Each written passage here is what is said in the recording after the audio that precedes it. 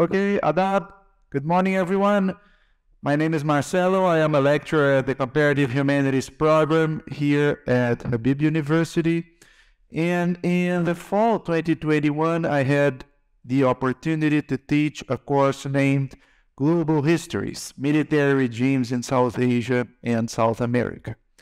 The purpose of this course was to provide my students with a critical understanding of military regimes both in Pakistan and in several South American countries, such as Brazil, Argentina, and Chile. And I would consider this to be a very successful course for several reasons. Mainly because it helped my students challenging a lot of misconceptions that people usually have about how you learn, about how you teach, about how you write history, right? Which misconceptions were those? First of all, the idea that history is boring because it's only about memorizing facts and dates and events, right? Whenever I tell people that I majored in history, they usually think that I spent four years of my life going to university just to memorize dates and names and events. A second misconception that this course helped my students challenging was the idea that history is useless because history only deals with the past. What's the point of talking about something that has already happened and that will probably not happen again, right? And the third misconception what is the point of learning South American history in a country like Pakistan? So I would like to share with you here today how did my course manage to encourage my students to overcome or to debunk those very common misconceptions that people usually have about history. Okay? So, to the first misconception history is boring because it's only about memorizing facts and dates and events. Throughout my course, I showed my students that facts are for history what bricks are for a wall. Now, what does that even mean? Uh, let's suppose that I pile up a lot of bricks here. They won't be a wall, right? In order for those bricks to make a wall, there must be some specific kind of interaction. There must be a cement gluing them together. And interestingly enough, the same thing goes for historical facts. In order for historical facts to be considered history, there must be some specific kind of interaction between them so that you can call them history, right?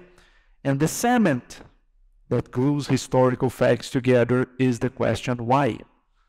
The why for history is what the cement is for a wall.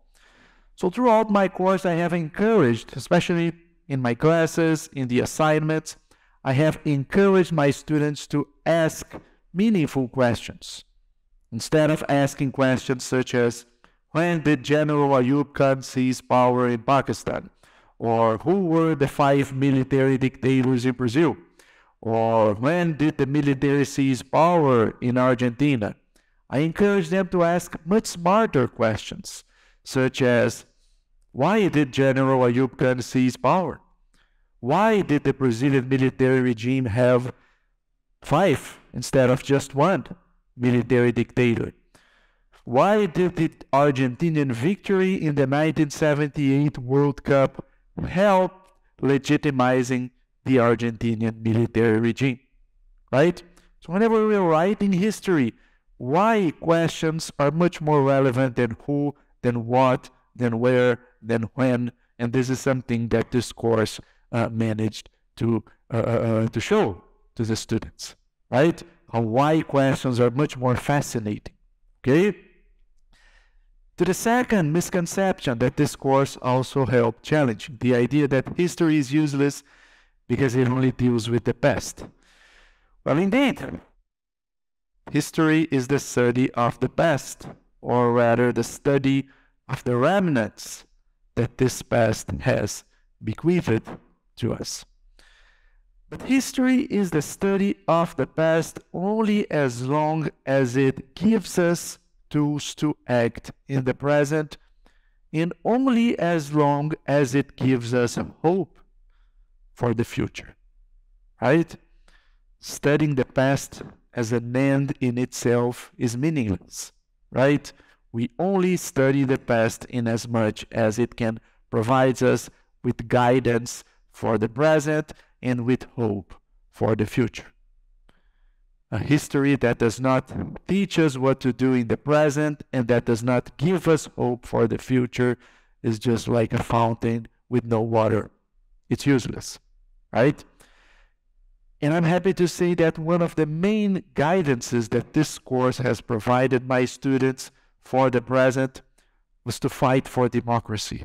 Because the more we studied authoritarian regimes, the more my students could realize how vulnerable and how fragile democracy can be. Right? So do not take democracy for granted. This was one of the main messages, one of the main tools that this course has provided to my students. And the third and final misconception what's the point of learning South American history in Pakistan? Right? Well, South America and South Asia share pasts of authoritarian rule and fragile democracies, despite all the differences that one can find between Pakistan on the one hand and Brazil, Chile, and Argentina on the other hand. All these countries share a past of authoritarian rule. And the more we learn about the other, the more we can learn about ourselves. And this is something that I could also notice in my course. The more my students learned about military rule in South American countries, the more food they had for their thought, the more tools they had to think about the military regime in their own country. And it also goes the other way around. The more I studied military regimes in Pakistan, the more I could understand, the more light I could shed on my previous knowledge on South American military regimes. Okay? But there's a fourth and final misconception. I would call it a bonus misconception, which I didn't mention earlier, uh, uh, that this course also helped challenge, right? It's not really a historical misconception, it is more like a geographical misconception, although it does have significant historical and political impacts, which is the idea that this is America, right? I notice here in Pakistan, different parts of the world, not only in Pakistan, how many people tend to consider America and the United States as synonyms, right? And given that this course was a course on military regimes in South Asia and South America, before talking about South American military regimes, I had to problem problematize the sole concept of America. And then my students could understand that this is not America, but rather this is America. That America is a continent and not a country. Right? I used to joke with my students whoever writes in their essays America as synonyms with the United States would just fail this course, right? Because I told them if you write America, I am assuming that you're talking about the continent and not about uh, the country. Okay? Thank you so much for your attention.